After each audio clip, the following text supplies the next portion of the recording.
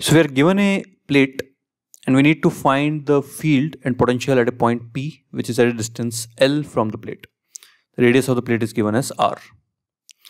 So again we will break this into small small rings and due to the ring we will find the potential and electric field at the point.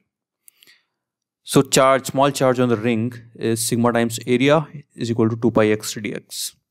So potential at P due to the ring is k dq by distance. So all the charges are at a distance this much and this is root of x square plus l square.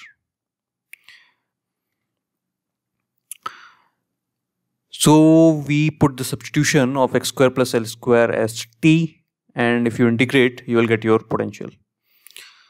Field at P. So that should be kqx by x square plus l square power 3 by 2 which is a standard result for a field due to a ring. So again we are going to integrate it by the same substitution and we will get our field which should be our answer.